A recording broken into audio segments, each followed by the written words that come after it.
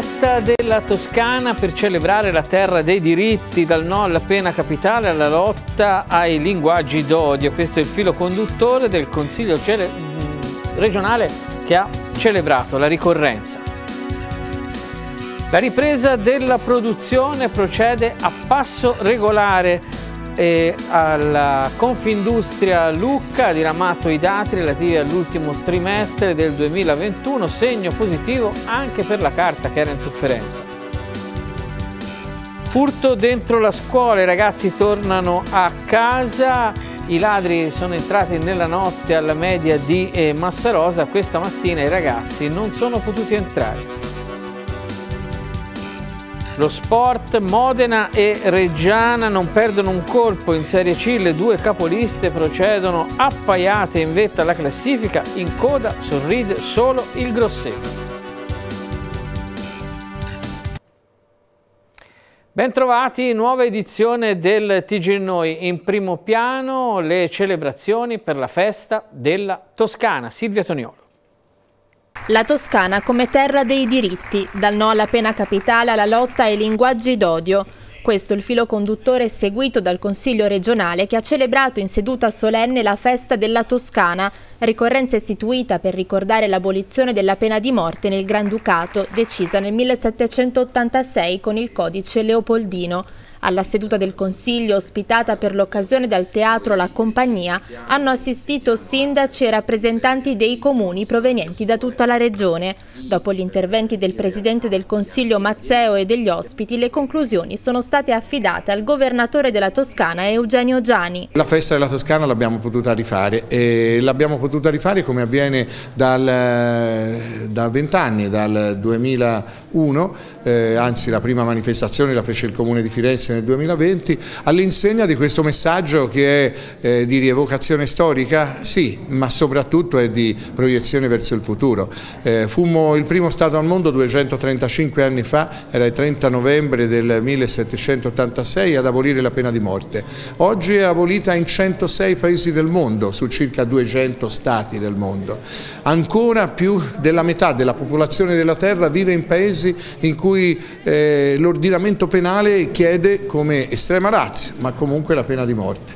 Ecco, i valori di civiltà, dell'umanesimo, dei diritti, della libertà che la Toscana seppe esprimere per prima 235 anni fa sono attuali perché c'è ancora eh, circa eh, quasi 100 paesi, più della popolazione mondiale, da liberare dal sapere che un giudice può eh, condannarti alla pena capitale. La mattinata si è conclusa con il corteo dei gonfaloni dei comuni fino a Palazzo Vecchio. E a proposito della lotta alla pena di morte, a Lucca Porta Elisa si è tinta di giallo. Nella giornata per la vita la città ha aderito alla giornata internazionale promossa dalla comunità di Sant'Egidio. I numeri del Covid contagiati in Toscana oggi sono 521, tasso di positività all'1,4%, aumentano i ricoveri, salgono a 317, calano le terapie intensive di due unità diventano 49. Ci sono stati tre decessi in provincia di Lucca, i nuovi contagiati sono 32. Allerta meteo per vento, mareggiate e pioggia. Mercoledì 1 dicembre bollettino emesso dalla sala operativa della protezione civile regionale segnala codice giallo per vento, mareggiate, rischio idrogeologico nel reticolo minore. In modo particolare pioggia in Lunigiana, Garfagnana e sulle Apuane e in Versilia si parla anche di forti mareggiate e vento forte. Parliamo adesso di produzione industriale in provincia di Lucca, la ripresa prosegue a passo regolare. Prevedibili ma importanti come conferme del consolidarsi di una tendenza gli ultimi dati di produzione industriale di Lucca, Pistoia e Prato raccolti dal Centro Studi di Confindustria Toscana Nord. Nel terzo trimestre del 2021 la crescita tendenziale della produzione industriale nell'area, calcolata rispetto allo stesso periodo 2020, si colloca più 8,4%. Per quanto riguarda la provincia di Lucca, tutti i settori portano il segno positivo, con la sola eccezione dell'alimentare, che viene però da un periodo con più 4,2 nel 2020.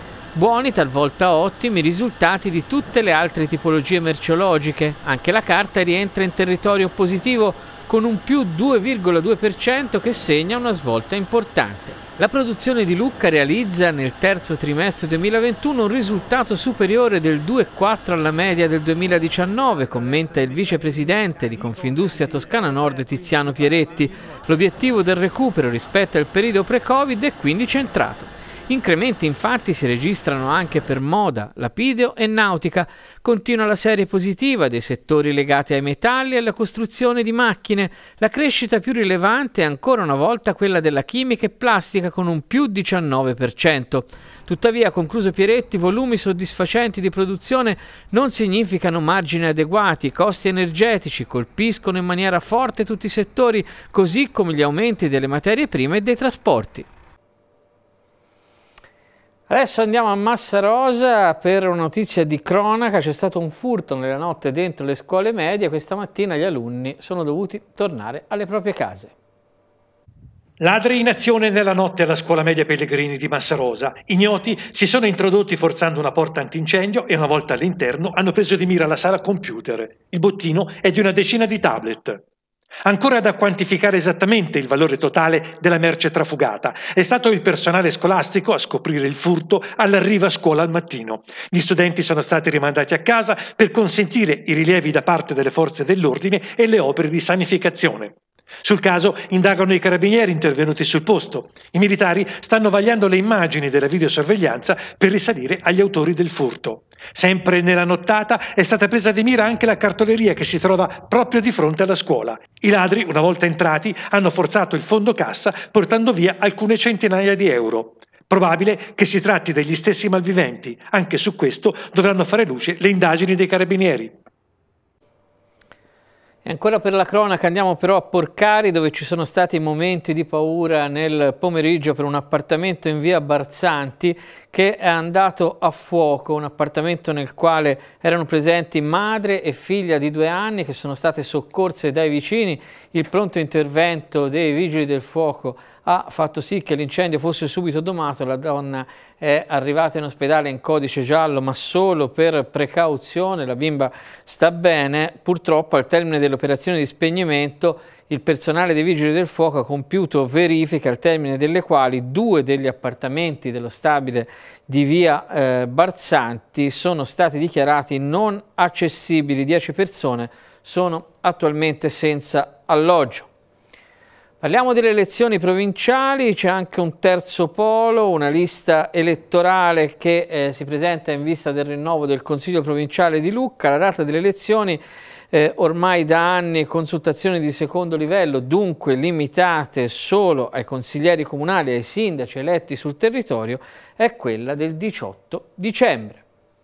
Spunta una terza lista elettorale in vista del rinnovo del Consiglio provinciale di Lucca. La data delle elezioni, ormai da anni consultazioni di secondo livello e dunque limitate solo a consiglieri comunali e sindaci eletti sul territorio, è quella di sabato 18 dicembre. In queste ore sono state ufficializzate le liste ammesse e rispetto a due anni fa, quando si presentarono i soli gruppi del centro-sinistra e centro-destra, stavolta c'è anche il simbolo di In Provincia, la numero uno, che rappresenta amministrazioni civiche ibride. Tra i candidati di questo terzo polo c'è la consigliera Viareggina Chiara Consani, il sindaco di Seravezza Lorenzo Alessandrini, il sindaco di Coreglia Marco Remaschi. Il delegato del gruppo è l'assessore Rodolfo Salemi della giunta di Giorgio del Ghingaro. Nel 2019 il sindaco di Viareggio affermò polemicamente di essere stato escluso dalla competizione sia dal centro-sinistra che dal centro-destra e la città del Carnevale rimase infatti senza rappresentanza diretta a Palazzo Ducale.